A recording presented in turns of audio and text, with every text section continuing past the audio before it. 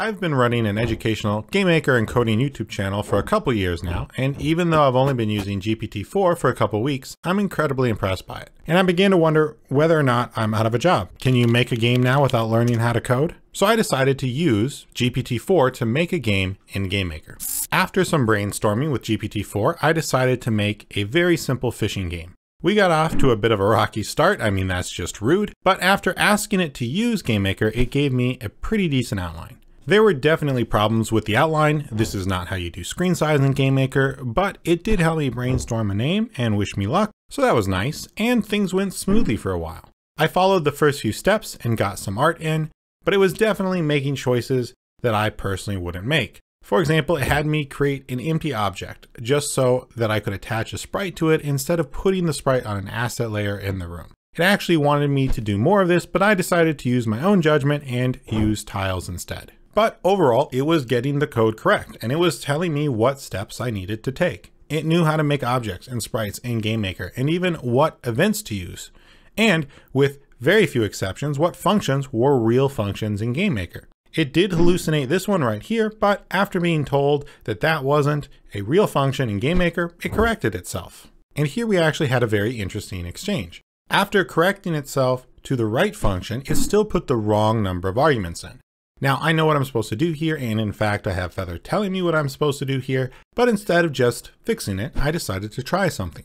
I opened up the manual page for this function, I copy and pasted that page into ChatGPT, and I asked it to read the page and then correct itself, which it did, giving me the correct code. I've been experimenting with GPT-4 and GameMaker for a couple weeks now, and this is actually a really reliable way to get it to give you correct information. Its general knowledge of GameMaker is often either wrong or just out of date. It still really likes to suggest using maps and lists, but you can tell it what you want and give it information that is more up to date by copying and pasting information, for example, into the chat, and then it will be correct going forward, at least in that conversation. After this, things started going pretty smoothly again. It was giving me code that worked. I was asking for modifications to the code and it was modifying it to add a new feature or do something different based on my request. And at one point, I even asked it to break down one of its stranger lines of code and explain it to me step by step. I still wouldn't write this code this way. This is far too complicated for what needs to happen here. But I did actually learn something from GPT-4's explanation, which is pretty cool.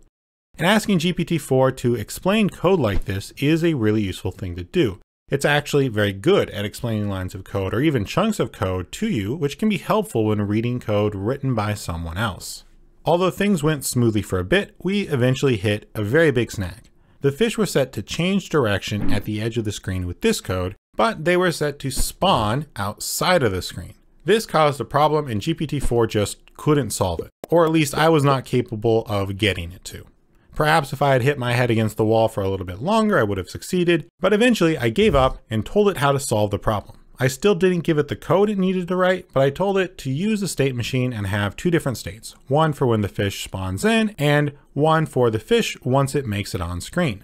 Then I asked it to write the code and this time it got it correct. Not too long after that, I did get my first crash, and amusingly, ChatGPT tried to correct it when it was actually my mistake. I hadn't noticed all of the code that it gave me and forgot to copy in the code that initialized the new variable. I figured out my mistake pretty quickly, but it was an interesting problem to run into. Because the error was on my end, ChatGPT didn't actually know how to solve it, because it assumed I had followed its instructions. So it was suggesting random non-solutions, and I don't know what would have happened if I hadn't recognized my mistake. So even GPT-4 isn't immune from human error. By this point, the game was actually getting close to finished. We had another small snag as I added in some of the audio because I wanted there to be a sound whenever the hook crossed the waterline. This isn't complicated, but GPT-4 was struggling with modifying its earlier code, and its modifications tended to break things. At this point, I was curious to see how easy it would be to modify code written by ChatGPT, so I decided to fix the problem myself. Perhaps unsurprisingly, it turned out to be no harder or easier than fixing any code I wasn't familiar with, which was nice. The final problem I had was due to GPT-4 just being out of date. GameMaker added a bunch of filters and effects in the last few years and GPT-4 doesn't know anything about them. When asked, it suggested creating a shader. I was tempted to see if it could write a shader, but instead I opened everybody's favorite web browser, Microsoft Edge, and used Bing, which also uses GPT-4 but has the advantage of being able to access the internet and read web pages. I opened the GameMaker manual up and asked Bing to analyze it and give me step-by-step -step instructions for how to add filters and effects, which it correctly did. There were still a few graphical glitches, but I decided I had done everything that I had set out to do and called it. I thanked GPT-4 for its help and asked it if it had anything to say to you, and it wrote you all a very nice and encouraging message. So can GPT-4 make a game for you? No, I don't think so. At least not yet. But it is kind of mind-blowing that this is possible. Even a year ago, it would have been inconceivable to think of working with an AI like this to create a video game. But despite how truly impressive it is, and it is very impressive, from the standpoint of, can it make a game for you? The answer is still very much no.